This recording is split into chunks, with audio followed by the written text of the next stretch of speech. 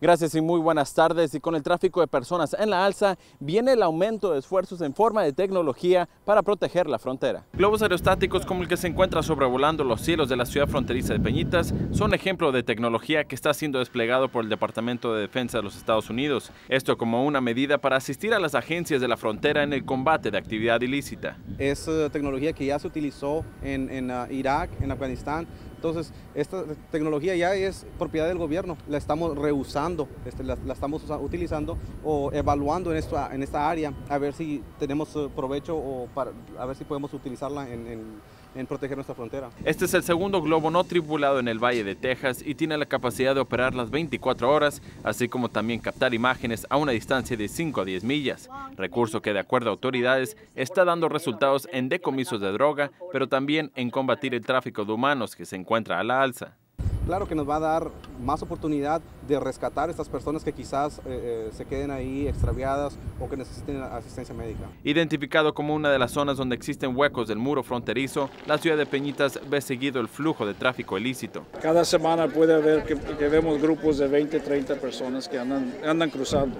Se acercan a la carretera, los levantan y se los llevan y luego sigue, sigue la cosa esa. ¿verdad? Y bueno, y lo que como se ha visto ahora en donde has, pasan los accidentes muy cerquitos de aquí. Se han matado gente. Para el propietario de este rancho de 50 acres, el proveer el espacio para dicha actividad de monitoreo ayuda a la protección no solo de la frontera, pero de su comunidad. A mí me imagino que si es bueno para aquí, para la comunidad, para mis vecinos, uh, mi familia, es peligroso para la gente que, que aquí.